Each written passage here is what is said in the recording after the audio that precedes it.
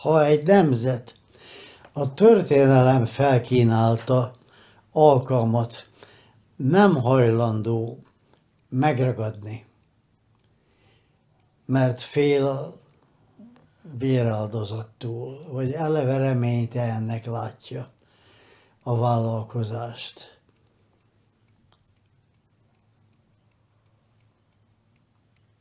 Akkor nem érdemel egyebet rabságra.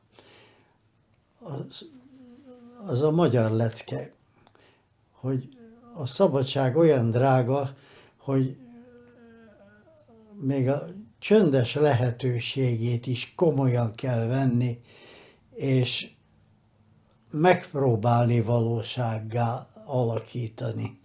Kerül, amibe kerül.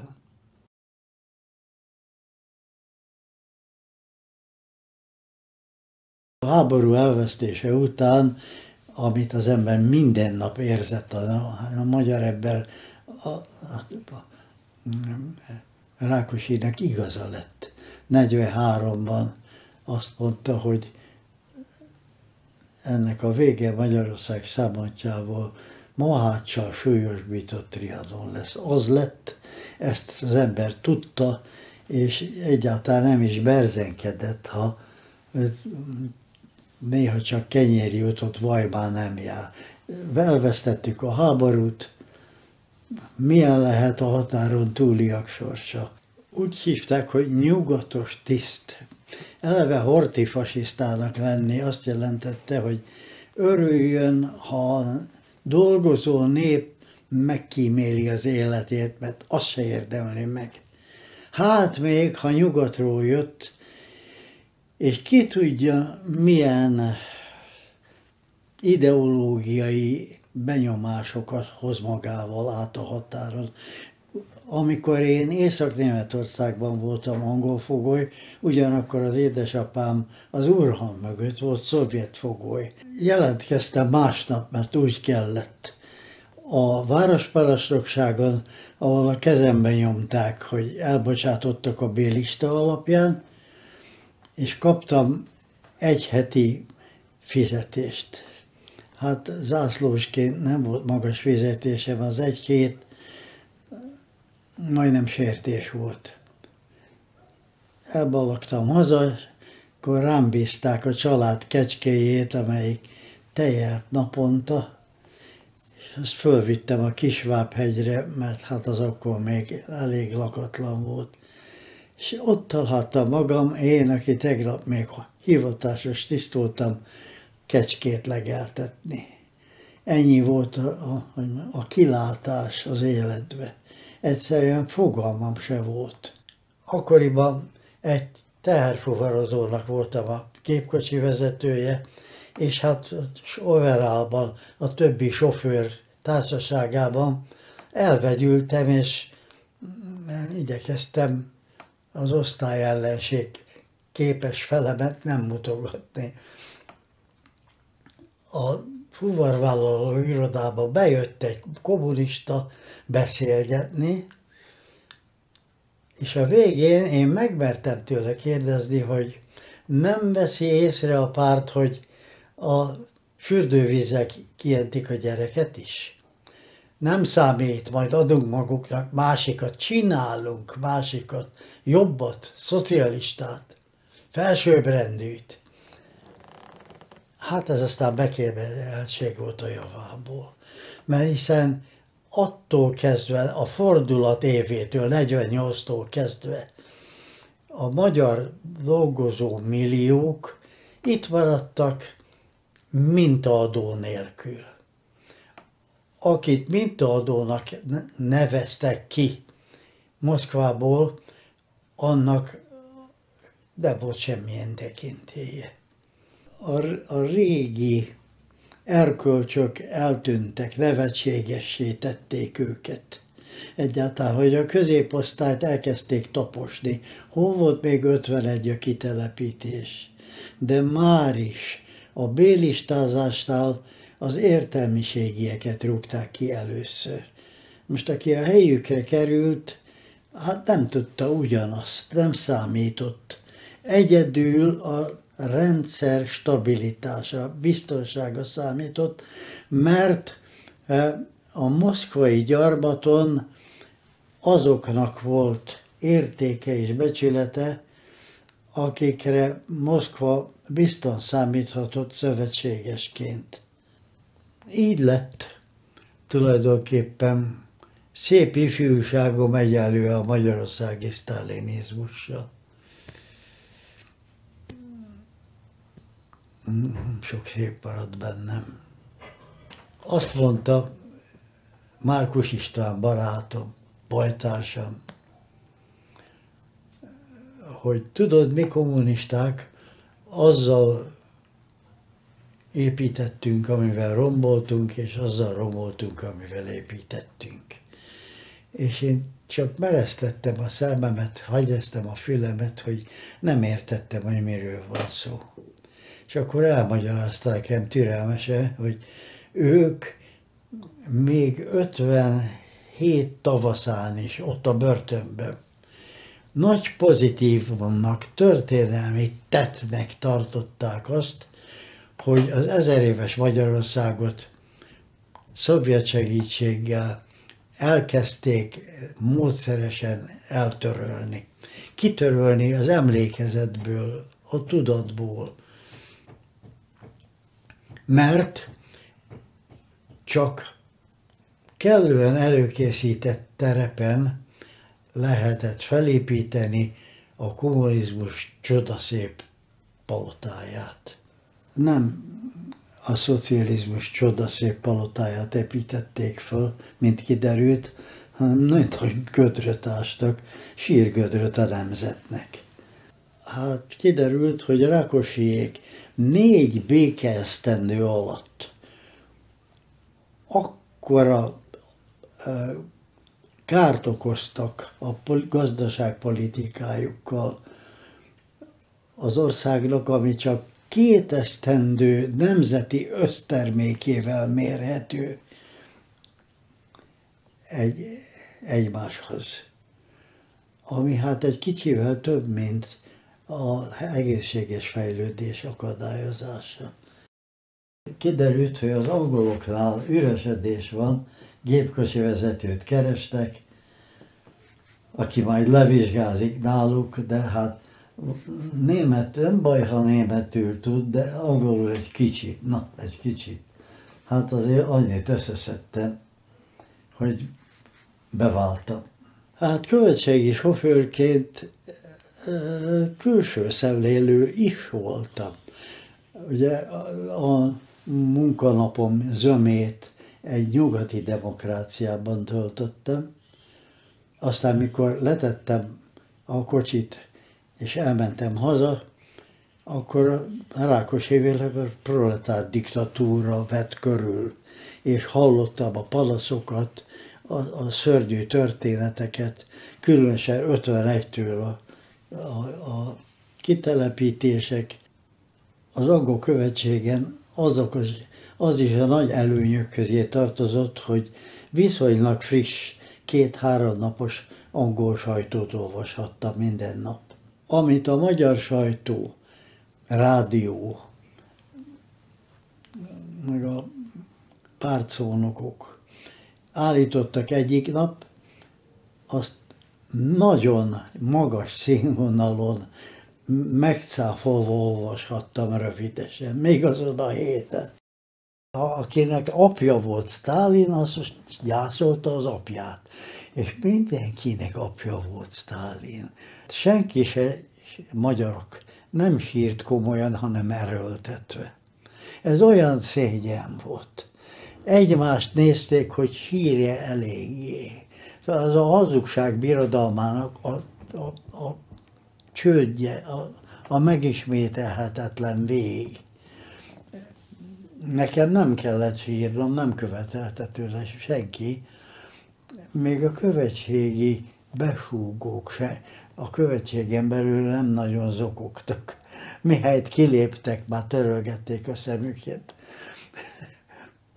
Vasárnapi szolgálatban voltam. Küldtek ide, küldtek oda, és egyszer, mikor egy fuvarból hazajöttem, az egyik angol azt mondja, hogy nagy dolgok történnek maguknál, hallgassa csak meg a rádiót. És akkor Nagy Imrének a nyugodt, tiszta magyarságú baritonján hallottam olyasmiket, hogy nem győztem kapaszkodni. Hát kiderült, hogy új program, új szakasz, így is hívták, és hát valóban új volt, mert hiszen Nagy Imre, ha teljesíteni akarta a moszkvai utasítást, és hogy ne akarta volna, akkor nem kezdhetett reformokba azokkal a módszerekkel, amelyek az egész birodalmat a csődbe vitték. A hölgyek lenyiratták a hosszú hajukat, és kacagva mondták, hogy új szakasz frizura. Szóval nagyon sok mindenre rögtön kihatott, mert nagy volt a feszültség. Tehát Nagy Imre is igen erősen megkötözött kézzel fogott neki a, a, a reformnak. Az volt a meggyőződése, hogy ők a Rákosi bunkó népi káderei helyett tudnák, hogyan kell ezt az állami kézbe vett ipart, a mezőgazdaságot önfent, több mint önfenntartóvá, profitálóvá tenni. Nagy Imrét megbuktatták 55 március. Nem sokáig volt miniszterelnök. Moszkvában fordult a szél, Rákosi ezt ismerte, sőt fújta a szelet, és hát akkor ott folytatta, ahol abba hagyották vele, magyarul csődpolitikát. Rákosi nélkül később lett volna. Elképesztő történet. Ugye Rákosi a saját biztonsága érdekében akart sztálinista politikát. Ő abban a közegben élhetett, az volt a halnak a víz.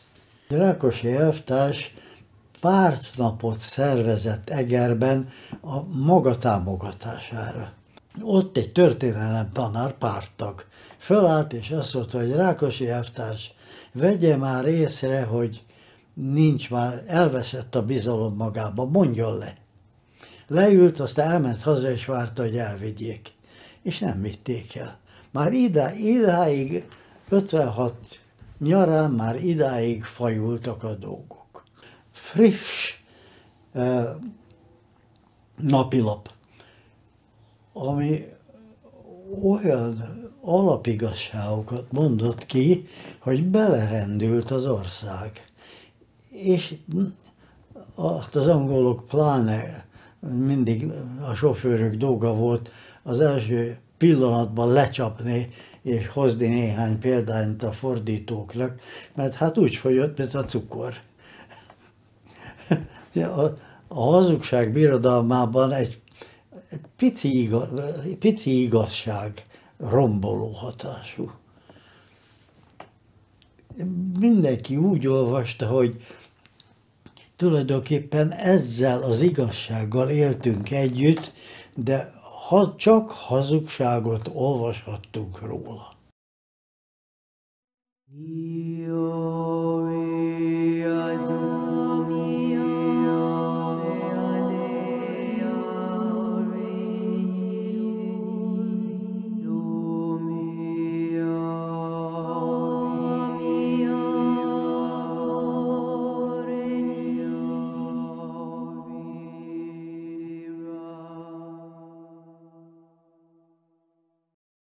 egy hímei átok, éj érdekes időkben. Hát ez, ezek érdekes idők voltak. Az emberek elkezdtek szabadabban beszélni, ami az előtt elképzelhetetlen volt. Ezt így utólag se tudom jobban érzékeltetni a mai emberekkel, mert aki szabadságban született, azt az előzmények nélkül ezt bármennyire magyarázzuk, nem fogja föl. De nem egyik napról a másikra tört ki a forradalom.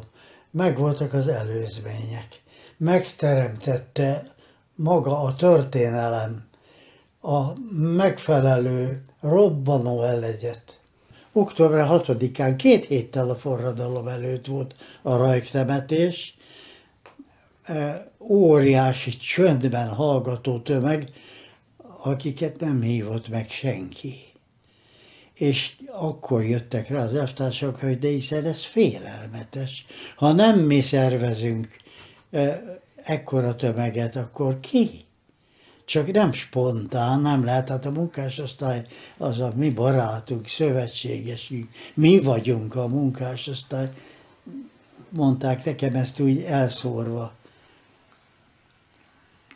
Aztán egy hét múlva eltemették a hét igaztalanul kivégzett honvédtisztet, többnyire tábornok volt, és már csak egy hét volt az életükből a magyar sztálinizmusnak.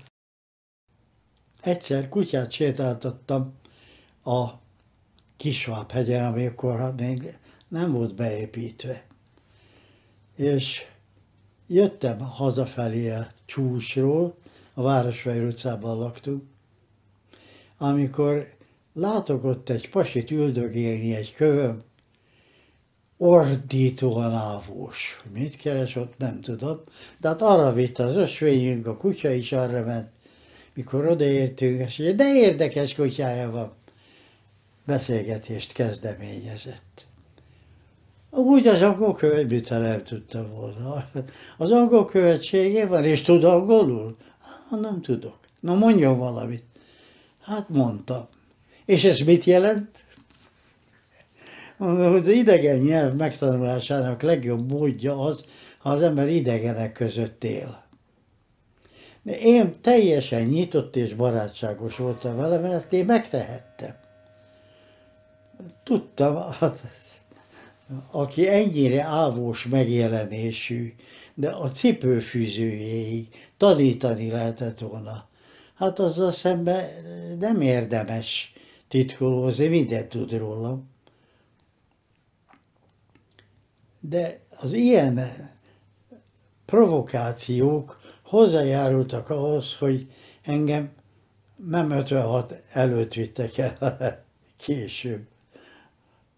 Az angolok örültek, nem kértek, különösen a forradalom előtt nem kértek eh, felvilágosítást erről vagy arról, legfeljebb ilyen naív esetekben, mikor jött egy tiszt, kis tisztviselő, még nem volt kocsija, én a családostól, és a, a, a naív angol asszony azt kérdezte, hogy miért van minden üzletre kiírva, hogy mit árulnak? Miért nem az, hogy kinek a tulajdona? Hiszen Angliában Joe, meg hát egyszerű volt megválaszolni, hogy kinek a tulajdona. De hát mondjuk ezen túlmenően én úgy elszóltam magam. És az angolok látszott, hogy a fülük, a az agyuk is nyitva van ilyesmire. Aztán egyre többször szóltam el magam, nem kérték, hát hasznosítottam magamat. Friss házasok voltunk, egyre kevesebb volt a szabadidőm. A feleségem néha könnyekkel a szemébe eh, hányta a szememre, hogy a, nem a hazát vettem feleségül, hanem őt. Ez igaz volt, de azt reméltem, hogy vele még leélhetek néhány évet, de ezzel a Magyarországgal, amelyik ennyi elnyomás után egyszer csak a maga történelmi valójában elkezd működni, ezzel ne, nem fogok még egyszer találkozni így. Hát úgy lett. 22-én teljesen normális munkanap volt, a megszokott. Mikor éppen keresztül jöttem a Kossuth Lajos utcán, az egyetem felől, hirtelen faltól falig terjedő nagy tömeget láttam. Arra is emlékszem, hogy egy jóképű, csizmás, népi táncos fiú vezette.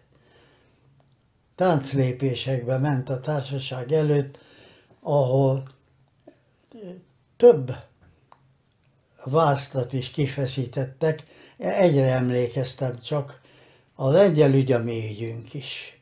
Ez bevallott forradalom volt. Csak ez nem hortista volt, hanem a munkásosztály gyermekei jártak egyetemre, és ők unták meg. Bennük az ország feszültsége növekedett odáig, hogy ezt megmerték tenni. Szóval ezek a fiúk és lányok csillogó szemmel, boldogan, teljesen forradalmi lelkülettel jöttek végig az Elte felől a Duna felé, az akkori Erzsébet híd roncsai felé, a Dunaparton Petőfi szobránál találkoztak máshonnan jövő egyetemistákkal. Aztán az egész tömeg átment a Bem a Margit hídon. És utólag tudtam meg, hogy a parlament északi szárnyában ott volt a Rákosi kedvenc miniszterelnöke, a fiatal hegedűs. Kinézett és látta azt a tömeget, amely korláttól korlátig betöltötte a Margit hídat, és vonult át vége láthatatlanul Pestről Budára. És akkor ő kimondta, hogy itt vége mindennek. Másnap reggel a Városvajorra nézett az ablakunk, és arra ébredtem korán reggel, hogy hallatlan csönd van, mint a temetőben. Abban a pillanatban fölpattantam az ágyból, tudtam, hogy ez valami rendkívüli. Mindig hallottuk, ismertem már, hát régen ott laktunk. A 46-ban jöttem haza hadifogságból, azóta kiismertem. A Land Rover kertben állt, bepattantam. Valakit föl kellett vennem és bevinni a követségre, és ezért a déli pályaudvar felé kerültem. És ott láttam az első jelét annak, hogy valami rendcsinálás csak készül, mert felfegyverzett magyar katonák egymástól olyan 50-60 méternyire leállítottak minden forgalmat, emberek se nagyon mozogtak. A követségi rendszámú terepjárót azt nem, piszkálták. Nekünk szabad volt a közlekedés.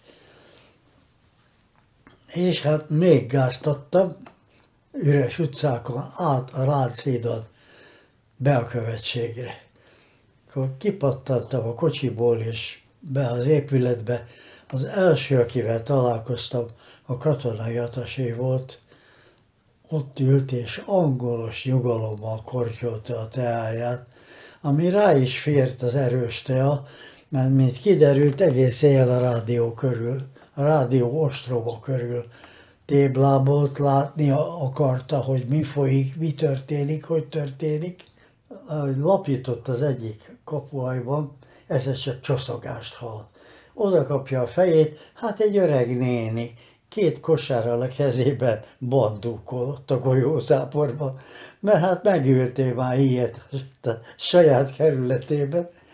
Nem zavartatta magát. Ez a magyarokra később is jellemző volt. Például, hogy szovjet harckocsi oszlopot láttam, amelyiknek a kocsi között ezekkel a kis 125 köpcentis csepelekkel ketten. Nem gyorsult ez a cseper olyan nagyon, cikázva, harckocsi oszlop, tudom, hogy milyen erővel tudja eltaposni az, aki közébük kerül. Mert nem zavartatták magukat. Kerékpárosok, gyalogosok keresztbe. Két riadókocsit a főkapitányság ide küldött. Puskás rendőrök ültek rajta idegesen, keresztpadok voltak, és beleszorultak a tömegbe. És nagy mulatság volt, a pesti dolgozó nép nem szerette őket. Elkezdték ringatni a kocsikat, és hol itt csúszott le egy rendőr, holott, mire leért a földre, a puskája már nem is volt a kezébe. A követ engedélyhez kötötte az angolok számára a kilépést. Jól tette, mert hiszen ha valahol élve vagy szétlőve angol diplomatára akadnak, á, itt az angol be, imperialista beavatkozás. Hát ezt nem szabad, szabad megkockáztatniuk, kockáztattak imitamot, csak rendszeresen nem, nem, egyszerűen nem mehettek ki a városba körülnézni. Nekem viszont szabad volt. Bár velem is nagyobb boldogak lettek volna egy horti tiszt, ráadásul angol követségi alkalmazott, elvegyül az ellenforradalmár gyerekek között, és magyaráz nekik a harckocsik elleni küzdelem városban fejezett alapján. Ha, ha, boldog vagyok, hogy ezt érdekes módon azok az ávósok, akik nekem hencegve mondták, hogy mi civilben állandóan cirkáltunk az utcán az ellenforradalom alatt, és néztük a csodát. Úgy el voltak bújva, egyszerűen fogalmuk se volt, amikor én mondtam valamit, hogy mit csináltam, megszólalni se tudtak, mert nem volt eh, segédfogalmuk se arról, hogy mi folyt, se pro, se kontra. Engem küldtek ki, hogy hozzam be a fűtőt, akkor már gázkanálok voltak. De hát senki más nem kockáztathatta meg robbanás veszély nélkül a kezelését. És nagy lövöldözésbe futottam bele az Üllői úton a klinikák táján. Ezek a nagyöbű, toronyi nélküli rohamlövegek, 12 centis ágyúval, közvetlen közelből aprítottak mindent, ami gyanús volt. Például, ha egy házból csak egy puskalövés elpattant a páncélos, ráfordultak, és addig lőttek, lőtték a házat, még le nem omlott a homlokzata. Aztán ugyanez volt a Kilián laktanyával, annak a saroképülete, Mária Terézia korában épült vastag falakkal. Hát ezek a 12 centisek közelről igen nagy hatásfokkal aprították. Le is omlott. Ezt volt szerencsém látni. Körülöttem gyerekek szaladgáltak. Tizenéves gyerekek, géppisztolyjal többnyire. Murinak vették az egészet. Én tudtam, hogy milyen veszélyes, de hát ők életük legjobb szórakozását érték át. Betéptem a követségre, és ott elmondtam, hogy mit látok. Csodálkoztak, mert odáig a város megszűrte a zajokat, és én tudom, hogy mekkorákat dördültek ezek az ágyok, és a 30 utcában semmit nem lehetett hallani belőle. Akkor aztán azt a feladatot kaptam, hogy a budai családokat gyűjtsem be. Mindenütt általában kint voltak a kocsik, és hát a családok a gyerekekkel együtt összepakolva várták, hogy mikor jönnek be a biztonságot adó követségre. és hát letelefonálták nekem az útvonalat, én talhoz tartottam magam, és hát egyre több kocsi volt a Land Rover háta mögött, letakartuk valamilyen angol zászlóval, ordító volt, külföldi rendszám, sose látott típus volt a Land Rover, plusz az angol zászló, hát végig tapsolt minket Budapest népe, amíg bejöttünk szép lassan. Arra jöttem el a rádió elől, meg kellett figyelnem, hogy most kinek a kezébe van a rádió. Azt hiszem visszafoglalták. De hát roncsózói is nem volt belőle adás, romház. És ahogy jöttem el a múzeum körúton, elképedve láttam, hogy néhány szovjet harckocsi tiszták voltak. Látszott, hogy most jöttek be valahonnan. Ellepte a nép, főleg fiatalok. Az, ágyúz csőbe zászlót dugtak barátkoztak a ruszkikkal, magyarázták neked, nyílt fasiszt. Mintha a harckocsi személyzetem múlna, hogy löve vagy sem. De hát ezt a civil nem tudja, sok civil se tudja. És aztán azt is láttam, hogy beindítják a motort, nagy csikorgással kifordulnak a múzeum körútra, és elindulnak északnak, tehát a parlament felé. Na ezek voltak azok a kocsik, amik nem sokkal később az Alkotmány utcából megérkeztek rajtuk a tömeggel a parlament elé, ahol szintén a szovjet hadsereg állt őrséget, nem a parlamentet őrizték, köptek rá, hanem nagyon magas szintű moszkvai küldöttség tárgyalt az Akadémia utcai pártközpontban. El tudom képzelni annak a felelős magyar elvtársnak a drukját, aki tudta, hogy két sarokkal arrább ott, van, ott tanácskozzak a a legfelsőbb szintű szovjetek, a legfelsőbb szintű magyarokkal. Gerő elvtárs többek között. Ha bármelyik magyarnak eszébe jut, hogy arra valók ezek a harckocsik, hogy oda menjünk, és célba vegyük az épületet, és követeljünk. Egyéb se hiányzik. Sokkal jobban féltek az oroszoktól, mint tőlünk. Egész biztosra veszem, hogy ő adott ki tűzparancsot. Már csak azért is kiadhatta, mert hiszen a földművelésügyvének a tetején nagyszerű gépuskafészkek vannak.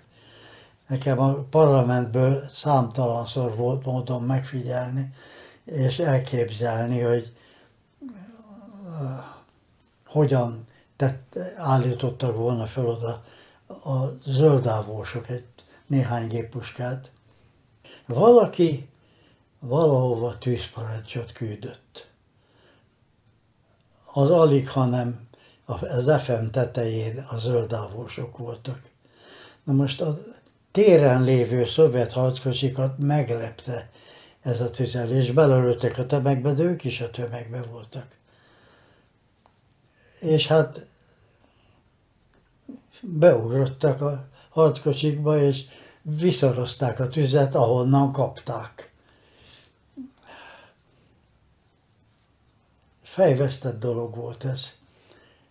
Ahol sűrű volt a tömeg, oda ágyúval lőttek, ahol ritkább a géppuskával. Akkor se annyi halott volt, mint amennyit később pártutasításra bevallottak. Tény az, hogy ez viszont eldöntötte a forradalom sorsát. Attól kezdve nem volt barátkozás, nem volt lehetősége annak mérlegelésére, hogy Nagy Imre fegyverletételre felszólító plakátjainak hitelt adnak. A győzelemig kellett folytatni. Ezek a gyerekek nem voltak kiképezve városi harcra, azt én ki voltam. Emlékszem, hogy milyen kemény. Tanították, hogy a romvárosban harcolni harckocsik ellen a legrohadtabb a harctér, amit, el, amit csak gyalogos csak kérhet magának.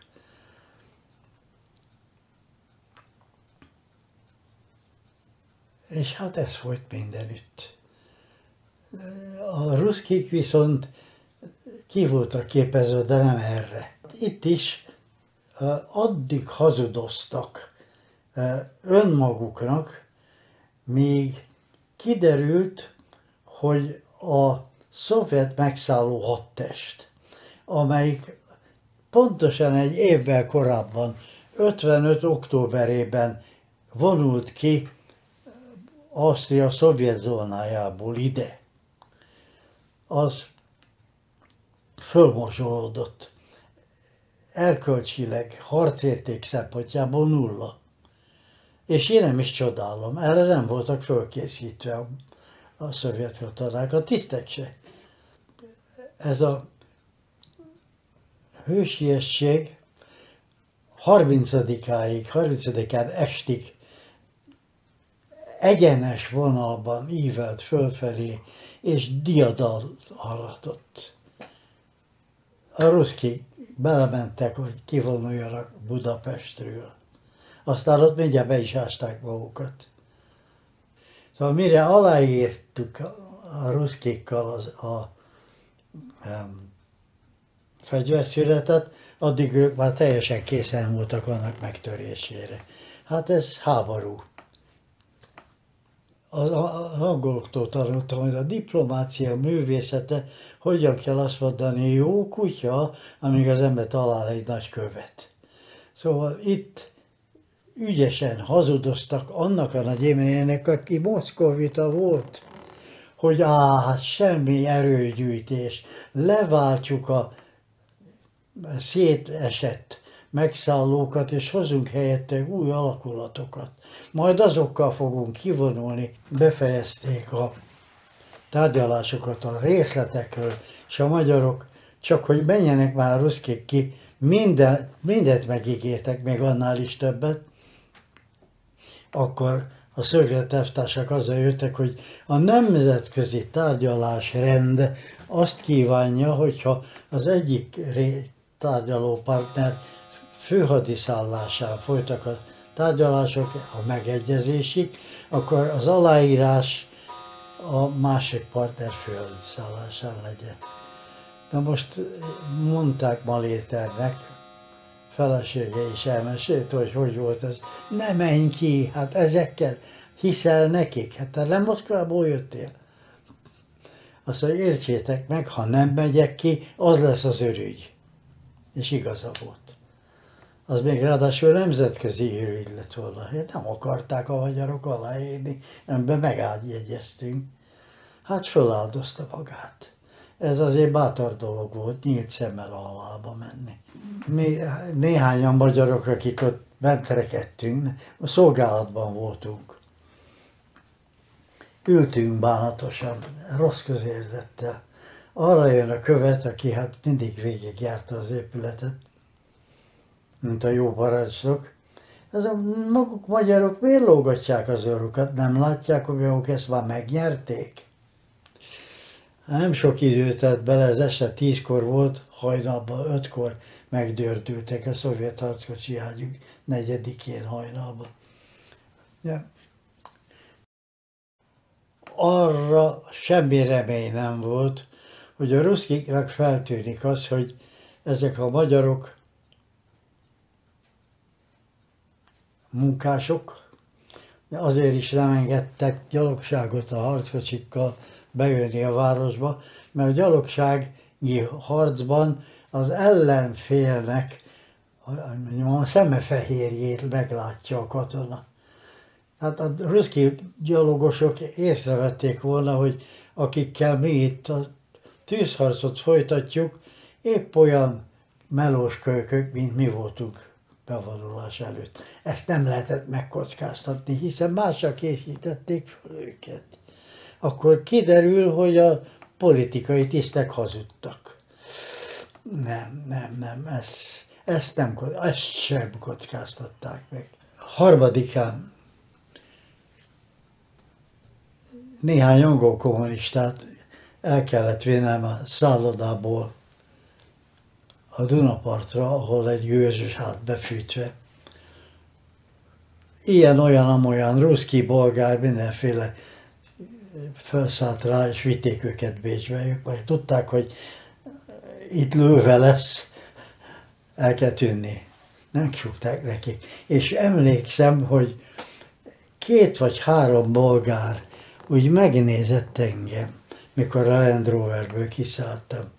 És ez a bolond magyar nem tudja, hogy itt mi lesz. Ez volt az első ilyen pillantás, amit elkaptam. És nem értettem félre. Emlékszem, a légügyi atasért, az is ezredes volt, vadászpilóta háborúban. Fölvittem a Rózsadombra, és onnan néztünk körül.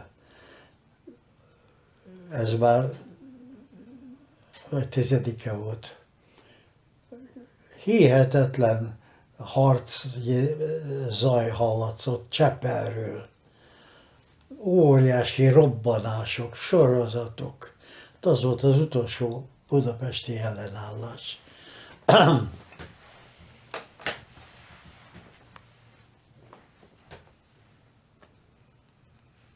elérkezik egy pillanat, amikor a szakember, a sokat látott, tapasztalt katonatiszt azt mondja, hogy most nem szabad tovább ellenállni. Sejthető volt, hogy ha az a 11 nehány szovjet páncélos hadosztály, meg a, a, a, a szomszédos országokból átdobott akkora erő, amivel szemben már csak tüntetésből lehet hősi halált halni. Nekem megengedte a követ, hogy beszéljek azokkal a magyarokkal, akik oda jönnek a főkapuhoz. Akkor én kiléphettem, némelyikkel elmentem a sarokig, és ott beszélgettünk. És ezek jöttek, fővárosi városi gerilla csapat parancsnokok voltak. Jött az egyik, hogy küldjenek az angolok lőszert. Hát mondom, milyen fegyverhez?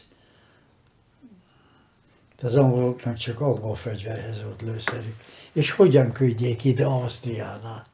Nem tudta. Kétségbe volt esve. Felelős volt a gyerekekért, és utolsó pillanatban jutott eszébe, hogy itt nyugati segítséget kérhet.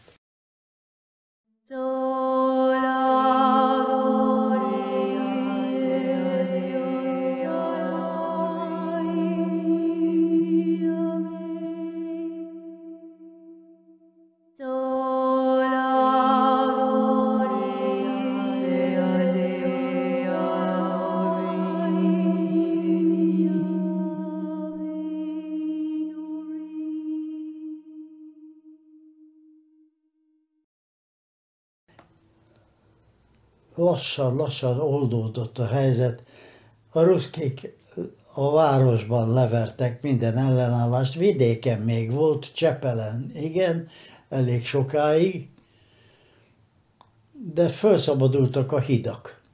És hazamehettem hosszú idő után a fiatal feleségemhez. Éppen elkezdtem borotválkozni, amikor megjelent Szesztai András barátom, azzal, hogy Bibó Istvánnal, akit hát a nevet ismertem, I. és Gyula válaszában a nagyszerű elemzéseit. Szóval ez a Bibó István beszeretne küldeni valamilyen írományt az angolokhoz, oda nincs kapcsolata. Az amerikaiakhoz meg a szovjet nagykövetségre már beküldte, bevitte vállalkozom erre. Hát persze abban a pillanatban abba hagytam mindent, megcsókoltam a feleségemet. Rovasz László lakásán rejtőzött Bibó. Ott bújdosott, mondták az ávósok megvetően. De hát ellen, tőle, ellenük bújdos, előlük bújdosott szegény, hiszen a utolsó Nagy Imre kormány minden tagját elfogták.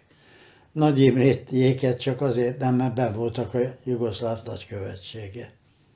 Kezet fogtam Bibóval, elmondta, hogy mit kér, én elmondtam, hogy szívesen megteszem, még most rögtön gyalog bemegyek a Arviszed utcába, és leadom. Az angoloknak nagyjából megmondtam, hogy ki az, akitől ezt a kéziratot hozom, nem volt vastag, az még. Ki ez, milyen fajsúlyú személy? Jó mondták az angolok, hát ugye ők több forrásból kapták a híreket, értesüléseket, és attól kezdve Bibó István neve hétszeres pecsét volt. Egy pillanatig se gondolkoztak azon, hogy ez igaz-e vagy sem, érvényese vagy sem, használható-e vagy óvatosan kezelendő, hogy ezen a szétlőtt, füstös, kormos, eltaposott Budapesten egyszer csak feltűnik egy európai jelenség, ugyanaz a műveltsége, világlátása, kultúrája, demokrácia felfogása, mint a miénk.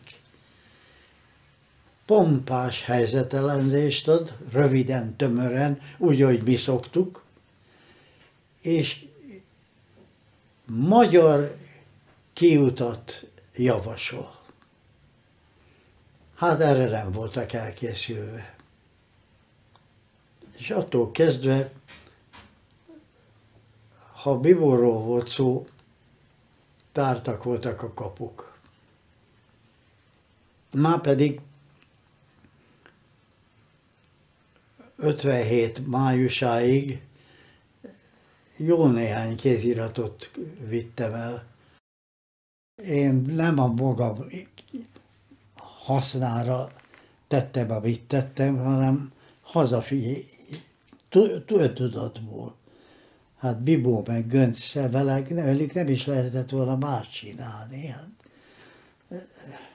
tulajdonképpen Bibónak a háború után írt tanulmányai így és Gyula válaszában, azok a kezembe kerültek, és boldogan olvastam, mert akkoriban ilyen szellemiségű és műveltségi hátterű tanulmányok nem jelenhettek meg, már 54-ben.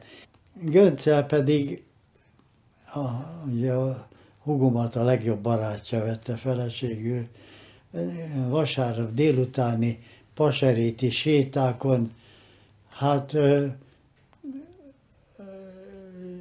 igen széles körű műveltségű magyar értelmiségvel találkoztam, aki még ráadásul, hogy úgy mondjam, kivetette rám a csábos hálóját, mert olyan szórakoztató volt, és meggyőző, élve, volt a társaságában lenni. Én ilyen társaságban nem jutottam. Az angolok között lehetett volna, de azért ezen a szinten velem nem tárgyaltak. Május közepéig folytattuk Göncel a magunk munkáját. Noha Kádár elvtárs meghirdette a május 1 határidőt, aki addig nem hagyja abba a tevékenységét, az a végén meg fogja bánni. Hát mi nem hagytuk abba, őket Bibót Göncöt május 20-án elvitték, és én még akkor a követség tejelkosiával kimentem Bécsbe ellátmányért. Szóval őket már gyúrták szegényeket, amikor én hazajöttem Bécsből, és ugyanaz az ávós arcú határőr főhadnagy volt szolgálatban az akkoriban nagyon kis bakterház határállomáson, halomban, mint aki kiengedett. És ez a gúnyos mosoly, amit nem is akart elfolytani, hogy na te buta reakciós, hát visszajöttél halálodba. Körülbelül ez volt a mondani valója. Igen, visszajöttem. És hát nem is telt, ja, attól kezdve egy fekete 1700-as Mercedes ugyanazzal a négyfőni személyzettel állandóan követett. A feleségem akkor már nyolcadik hónapban volt, fogtuk a kutyát, és felmentünk sétálni szokásunk szerint este felé a Kisvábhegyre. És akkor is jöttek utánunk, hárman váltották egymást, én sejtettem, mert nem akartam szegényt, pláne abban az állapotban idegesíteni. De a magyar lány ő is előbb vagy utóbb észrevette. Éjfél után egyszer csak csöngetnek egy négy tagú brigád, aláíratják velem, hogy tudomásul vettem a letartóztatási parancsot, Hát ott az ember ebben az állapotban már aludtunk a feleségemmel. Nem nagyon olvas el, hogy mit ír alá. Maga nem látta, hogy a letartóztatási parancsot kiadta ki. Biszkó elvtárs, belügyminiszter. Ez később mondták már nekem egy évvel később. Úgyhogy én nagyon hálás vagyok Biszkó elvtársnak, hogy politikai karrierjebet így megtámogatta. Ketten ott maradtak a házmester néni tanúskodása mellett házkutatásra. Hát szegény feleségem még egyszer, meg még egyszer megbocs, megcsókolt. Nem lehetett tudni, hogy találkozunk-e valaha. Gyorskocsi utca, hátul volt a járműbejárat, kikörgyezésre megnyílt a lemezkapu, és begördültünk két lemezkapu közé.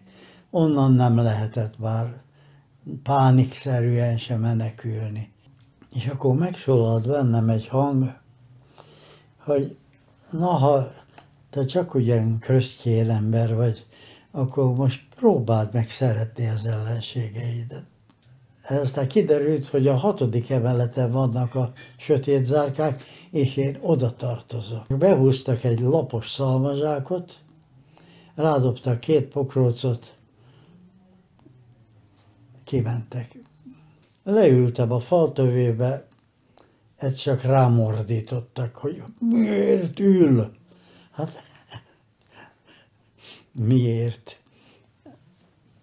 Nem tudja, hogy itt sétálni kell? Nem tudta. Kiderült, hogy reggel 6-tól este 9-ig járkálni kell. Hátratett kézzel, föl és alá, föl és alá. Egyszer csak jöttek, hogy kihallgatásra. Vittek át a, az iroda blogba. Bevittek egy irodába, és ott volt két javakorbeli ávostiszt, földgyűrt ingújjal. Üljön le! Ott az embernek, ők egy nagy íróasztal mögött ültek, előttük a szoba közepén volt egy pici íróasztal egy székkel. Írtó érdekes, az ember akkor kezdte el megtanulni ennek a kisasztalnak a lélektani erejét, amikor még ez se volt. Forgatott maga előtt egy jegyzőkönyvet, aminek minden lap sarkában lent ott volt Götz Árpád aláírás. Azt ismertem messziről is. Nagyon jellegzetes aláírás volt.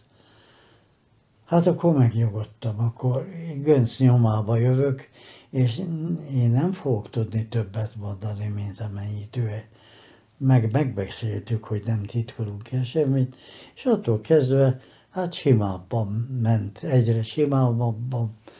Persze így is megpróbáltam letagadni olyan tényeket, amiket kár volt, mert elfogadta, nem értette,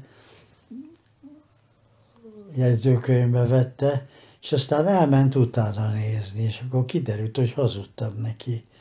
Ó, haja Istenem, hát regéci, baj van, azzal kezdte.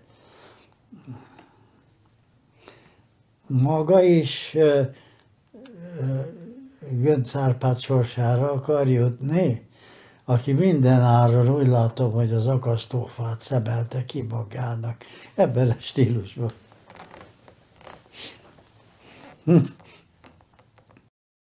Sokáig voltam, én hét hónapig voltam magánzárkán.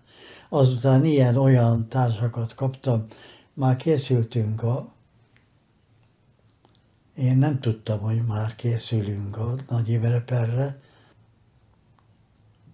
Nagy iroda, először van titkárnői előszoba. A kis őr ott falnak nyom engem egy zugolyba, bemegyünk, nagyon keményen jelentkezik, ez nem volt szokás ennyire. Hát akkor én valami nagy fejűhöz tartozom. Bemegyek, és hát csak ugyan nagy szoba, egy nagy íróasztal a sarokban, és körben, félkörben az a hatávós tiszt, aki Csíki őrnagy brigádjában volt, az évvizsgálom brigádjában. Ülnek lovagló ülésben a székeken, az állokat rátámasztva a támlára, és csak egy mesztelen szék, még az a kicsi asztal is hiányzik, és ez meg van világítva több oldalról, hogy a kérdező homályban van, én meg teljes megvilágításban a legkisebb artizomrádulás is látják. Minden oldalról figyelik kiderült, hogy válogat. Kifelel meg ebben a monstreperben tanulnak, az vád tanuljának. És akkor azt mondja, hogy tulajdonképpen mi csak azt várjuk el magától, hogy azt a néhány mondatot mondja el, ami a jegyzőkönyvében van. Hát én a jegyzőkönyvben lévőket jó lélekkel mondtam, teljesen mi voltunk a felelősek, Götz meg én. Nagy mert akkor már hónapok óta Romániában volt internát. A vizsgálat lezárulásával vádemelési indítványt kellett csatolni hozzánk, és úgy átadtak az ügyészségnek. Az ügyészi szakban fogalmazták meg a vádiratot, és aztán jött a bíróság. Azzal búcsúztatott Csíki őrnagy, a vizsgáló Götzelnek, meg az enyém, hogy ha valakit kétszer lehetne akasztani a maga barátját, kétszer kötnénk fel egymás után, az volt a jövendő államfő. Nekem pedig azt mondta, hogy maguk önös szándékból képesek lettek volna a dolgozó tömegeket átvenni a győztes oldalról a vesztesek közé. Ekkora bűnre nincs bocsánat. Mi megállapodtunk abban Bibóval Göncel, hogy nincs a hátunk mögött semmilyen hatalom, politikai párt, hadsereg, pénz, semmi. Magunk vagyunk, és akkor hát ebben, hogy e, nyugodtan mondjuk el, hogy mit csináltunk, még akkor is, ha némelyik tétel új lesz a vizsgálóknak, és lesz, ami lesz. Én református vagyok, tehát ismertem a luteri kiállást. Itt állok, másképp nem tehetek, ítéljenek fölötte. És amikor hát nekünk kínálta föl a történelem a cselekvés lehetőségét. Például éppen az utolsó Nagy Imre kézirat példánya, akkor már csak emiatt sem tehettem meg, hogy takarékoskodom a magam életével. Hivatkozhattam volna arra, hogy útban van az első gyerek, alig most házasodtam. Még a Biblia is mentséget ad a frit házasoknak. Nem, ezt nem bírtam volna elviselni a lelkiismeret furdalást, hogy láttam a gyerekeket meghalni, és én háttérbe álltam, és mostam a kezeimet. Nem vállaltam el, mert veszélyes. Azt kérdezte Borbé, a mosolygó hóér, a, a, a, a bíránk, hogy miért vállalta el ezt a feladatot? Nem tudta, hogy veszélyes, mert az osztály ellenségről semmi jót nem szabad feltételezni. Kutatták, hogy ki fizette meg magát. Mintha az életet forinttal meg lehetne fizetni. Hát, 15 év. Dehogy emésztettem még meg. Csak azt tudtam, hogy Göncöt és Bibót életben hagyták, és én mögöttük. Ők én 15 év. Most meg kellett emészteni. Az ember megpróbált börtönben előre tekinteni egy évet, kettőt, még nagyjából hármat is, de többre nem ment. Ott köd volt, sötétség lehetetlen volt elképzelni. Három év múlva mi lesz még?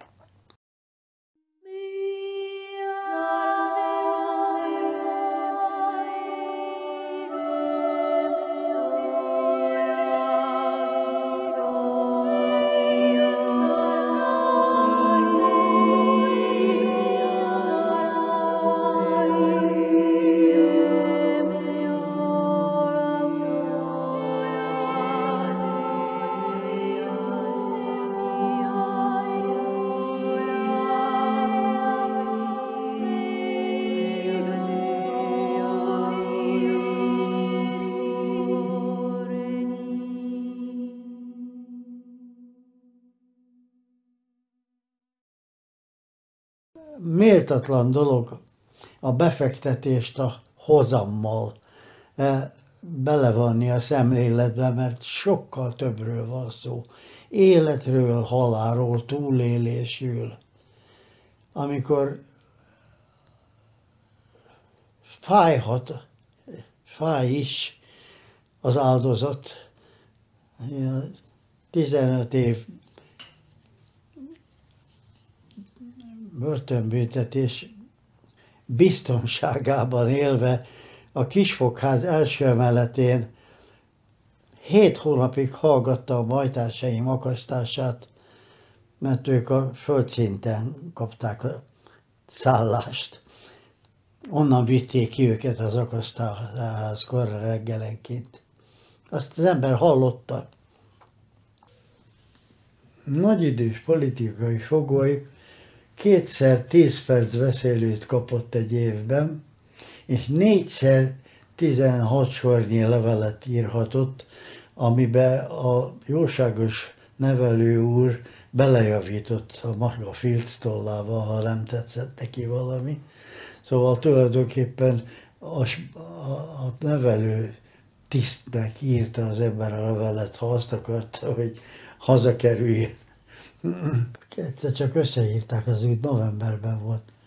Ki milyen nyelven fordít. Én írtó érdekeset kaptam, hát a felénél voltam, mikor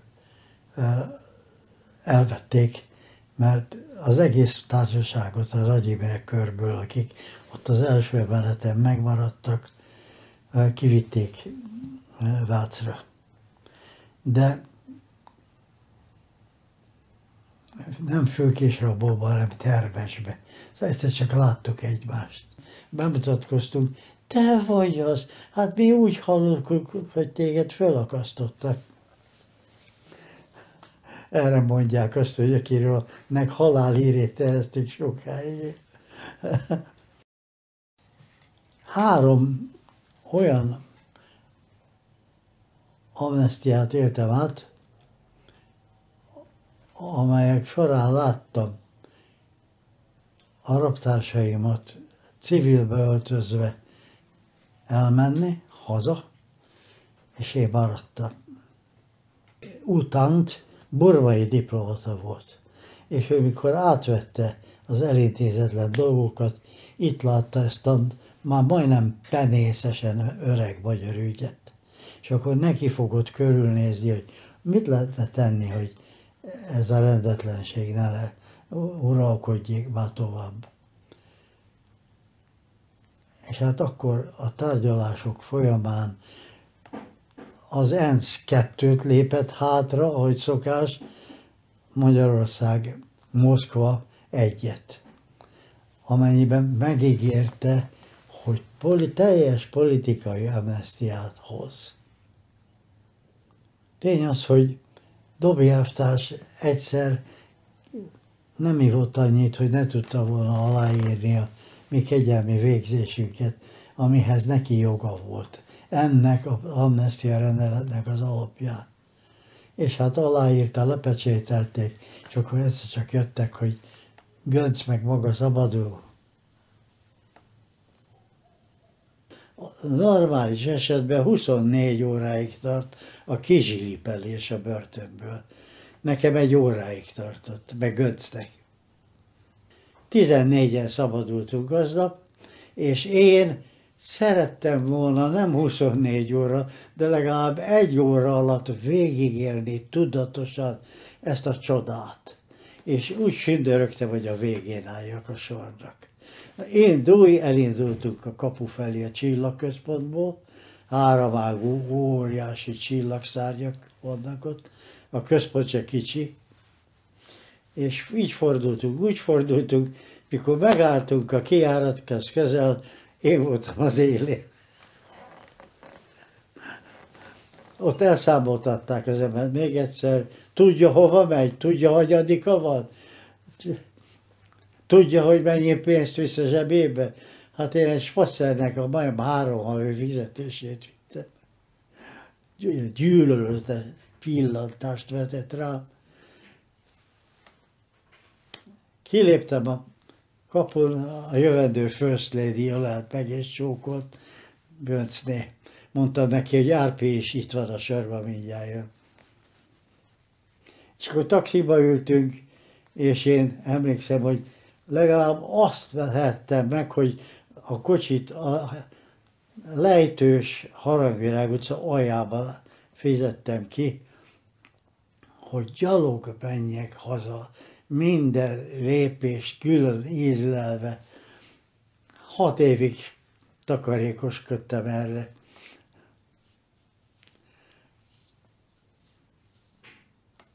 De aztán, mikor a feleségem könnyeit, meg zokogását, meg ölelését éreztem, hát akkor jöttem rá, hogy ez valóság, nem álom. Tulajdonképpen élvezettel átélni ezt kell, nem a többit. Bibó szerint mindenki, az egész magyarság egy fejjel volt magasabb önmagánál 56-ban azt aztán én mondtam félve, hogy eljönnek az idők, amikor egy fejjel alacsonyabb lesz. És eljöttek. Szabadulásom után találkoztam ugyanazokkal a magyarokkal, akik hát hat évig voltam rács mögött. Ja, nagy, nagy börtönben találkoztam velük, és kiderült, hogy olyan hülye gyermekded jó indulattal fogadják a proletár diktatúra apró engedményeit, mintha azért harcoltunk volna.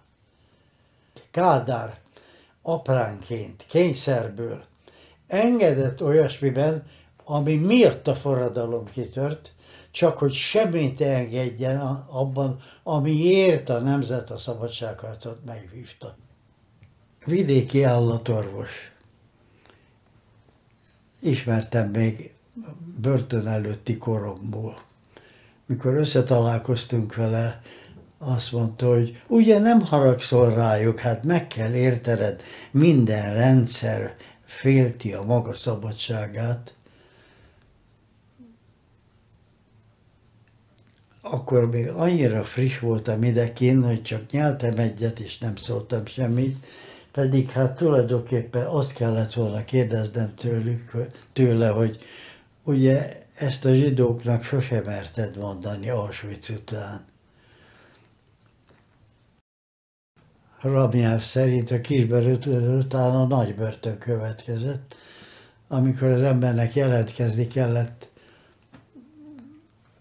24 órán belül a rendőrségen, ahol láttam, hogy egy unott rendőrtiszt MF-et ír nagybetűkkel a nevem mögé, megfigyelés, és 30 napon belül el kellett helyezkedni. Különben az ember visszavitték, töltse el a maradékat. Nekem még 9 év volt bent. Hát, a követség nagy naívan megpróbált engem visszavenni, de hát a külügy megmagyarázta nekik, hogy időközben törvényt hoztak, hogy aki öt évnél nagyobb politikai ítéletet kapott, soha többé semmilyen külföldi kapcsolattal nem rendelkezhet munkaadóval, pláne nem. De hát ahol meglátták az ön életrajzomat, nyugatos tiszt, angol követségi alkalmazott 15 év börtön, na hát az egyik is sok volt, Szó se lehetett sehol. Egy alkalmi beszélgető társ az utcán. Van kocsi? Nincs. Hát nyaraló? Nincs. Hát ilyető még nem is hallott, itt már mindenkinek van. Nem mondhatom, hogy még állásom sincs. Segédmunkás lettem. A város másik végig itt laktunk Pasaréten és egy óráig mentem buszon, villamoson, amíg elértem azt a raktárépületet, ahol kisebb-nagyobb ládákat kellett bontogatni, tologatni ide-oda. Apáként megpróbáltam mások neve alatt fordítani angolra, mert angolra nem sokan vállalkoztak. Nem volt nagy üzlet. Rosszul fizették. De akkor is jobban jártam, mert nem volt pártitkárom, vállalatvezetőm, személyzeti sem. Sőt, hát a, a munkaelosztók az országos fordítóirodában örültek, hogy van valaki, aki kénytelen mindent elvállalni, amit a állásban lévők visszalöktek, mert még szótár se volt hozzá. Azt nekem meg kellett vállalnom a kemény iskola, a jó iskola. Nincs sajnálatra méltóbb annál a politikusnál, mint aki bedül a saját propagandájának. A szocializmus biztos, nyilvánvaló fölénye a kapitalizmus fölött, ez olyan hazugság volt, annyiszor megismételt hazugság, hogy 89-ben még leírták. 45 év kommunista befolyást, nem tudom hány esztendő alatt sikerül teljesen kimosni a magyar közösségi tudatból. De ha igaz az, hogy egy száz éves fát csak száz év alatt lehet pótolni, akkor félek, hogy a politikába is a 45 év, kétszer 45 év is meg lesz. 88-ban engem nem lehetett kihagyni a Nagy Imre temetés szervezői közül, hát mégiscsak úgy kockáztattam a nyakamat, a Nagy Imre politikai testamentumának a megmentéséért, ahogy a revizionista kommunistáknak kellett volna, de egyik se csinálta. Az új világ akkor kezdődött, amikor engem küldtek ki a rendőrséggel valamilyen temetői rendészeti ügyet megtárgyalni. És Ladvánszki rendőr, a tábornok volt a tárgyalópartnerem, aki tudta, hogy ki vagyok. Rémetszerű, bejelentették neki, hogy ki leszek, utána néztek, és úgy rántotta vissza a kezét, mint egy varanyos békát fogott volna. Na, ez volt az én szabadulásom. Antal tulajdonképpen belső kényszer hatása alatt fölajánlotta az államfői tisztet az ellenségeinek, Gönc a belső kényszer hatására kért engem, hogy lépjek be hozzá az elnöki hivatalba. Noha az SDS az ő munkaadója. Ezt semmiképpen nem akarta. De hát Gönc nem tehette meg, hogy akivel egy perben állt a bíróság előtt, az csak maradjon állástalan fordító továbbra is. Azt most egyébként is kezdik jobban fizetni. Én majd államfő leszek, ő meg hát él, ahogy tud. Na hát ezt be, Göncben volt belső kényszer, magyarul erkölcs, tudat. És kiharcolta, hogy felvehessen. Sok idegességébe került, sok feszültségébe. Ketten léptünk be az elnöki hivatalba 90. szeptember első munkalapján, amikor Gönc már nem ideiglenes államfő volt, hanem véglegesített. Letette az esküt. Horti főhadnagya volt az illető, raptársunk, mihelyt beléptünk Gönc szolgálatába. Ott az irodai asztalánál főbelőtte magát, aznap délelőtt.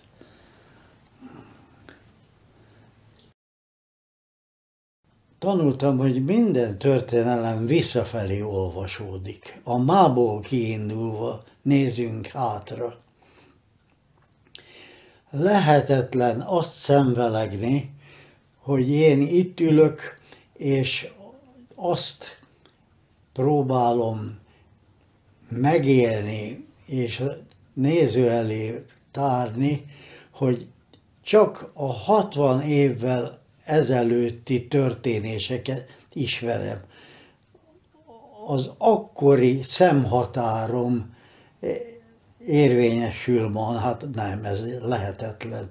Ami 60 év alatt megesett velem, a hazámmal, a világgal, az persze mind bennem van, mind formált, és lehetetlen, hogy ha naív voltam valamiben 60 évvel ezelőtt, akkor még mindig naívan beszéljek róla. A történelem nem mögöttünk, hanem alattunk, azon állunk. Így módon az egész magyar társadalom sok esztendőn át olyan történelmet tanult, ha tanult egyáltalán, ami lyukacsos, szívasszerű volt, végképp nem alkalmas építkezés alapjául de az önismerethez, a nemzeti önismerethez, ha tetszik, katarzis szükségeltetik. Ravasz Lászlótól azt tanultam, hogy Isten teremtett magyarrá, ezért ezt kell megélnem. Azt hiszem, hogy ennél sűrűbb véleményt nem ismerek. Neo